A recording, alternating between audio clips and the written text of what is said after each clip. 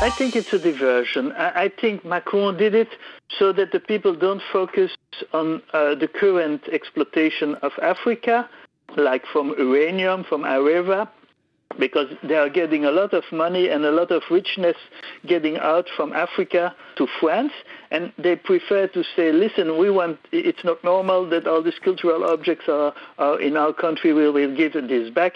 But in fact, I think it's an excuse. I think Macron has absolutely no interest in African art. Also, when you see the report that was done, it was done by people who have absolutely no knowledge at all about the African art market.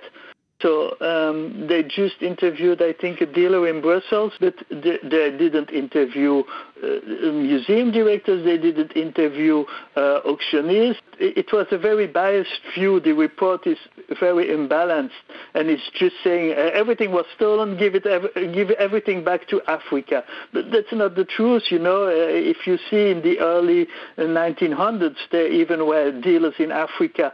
Uh, a lot of these objects were given, were sold, were exchanged for goods.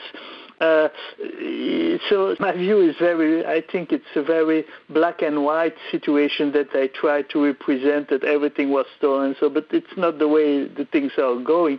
Of course, when you replace uh, society, you change things and, and bad things happen, of course, but not everything is bad, you know. So ultimately, it sounds like it remains to be seen what will happen with these particular 40 spears. Well, you know, it's not something very important. Those spears, you know, African weapons, there are hundreds of thousands of them in circulation. Of course, we can give things back. We can help the people there to, to establish a museum. But if in Africa, if the, the main people who are leading the country are Islamic and they don't give a clue about their own culture, nothing will happen.